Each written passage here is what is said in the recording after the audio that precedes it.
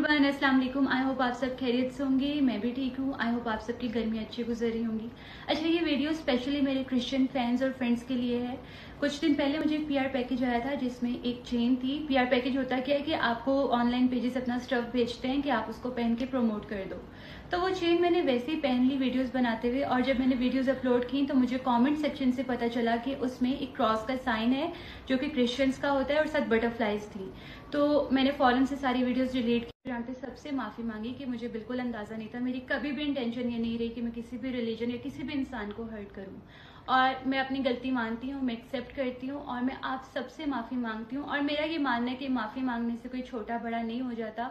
मेरी गलती है, मैं माफ़ी मांगती हूँ और आई होप आप सब मुझे माफ़ कर देंगे। मेरी वजह से अगर किसी की दिल आजारी हुई हो तो प्लीज़ अपने दिल में कोई ऐसी बात ना रखिएगा।